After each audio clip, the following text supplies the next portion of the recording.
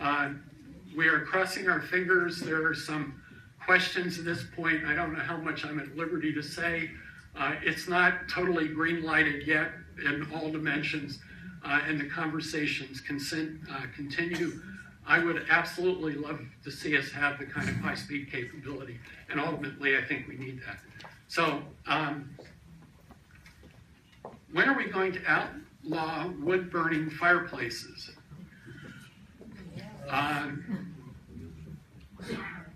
I don't even know where we start on that one. It hasn't exactly queued up yet. Uh, where, The, the air quality board and, sets the regulations. okay, so, and we have a representative from the Air Quality Board here, if they could raise their hand. Okay, so there's the gentleman you want to start with. Thank, thank you for being here tonight. Yeah.